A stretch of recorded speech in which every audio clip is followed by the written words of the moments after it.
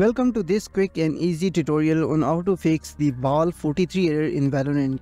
If you are having trouble with this error, follow these steps to get back into the game in no time. What you need to do here, the first step is close Riot Client or Valorant game files from Task Manager. Just right click on the taskbar and then open the Task Manager and find the Valorant or any Riot Client related file and just right click on it and then end task. Once you have done this, now delete Riot Client settings. What you need to do here, just Windows plus R key and then type here the percentage appdata percentage and then hit enter. Now click on the app data, then go into the local and then find here the Riot games. Now Riot client and then configure files and then delete Riot client settings. Right click on the Riot client settings and then delete this. Now close it.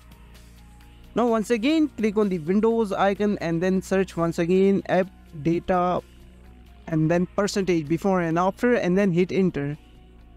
Once you hit enter, now this time again go into the app data, then local, and then this time you need to find here the Valorant folder. Over here, just double tap on it, go into the save folder, and then right click on the crashes, and then delete this folder, and also delete the log files from here. Once you have done this, close this, and make sure click on the recycle bin and then empty recycle bin. Click on yes. Now once again click on the windows icon and then search here for services and then hit enter. To open the services find here the vgc choose any service and press v from your keyboard to directly go on the v list and then find the vgc right click on it go into the properties and then startup type set here automatic hit apply and ok and then close it now the last step, again click on the Windows search icon and then type here the CMD, then run as administrator. Once you launch the CMD, the first command is netsh space win sock space reset and then hit enter.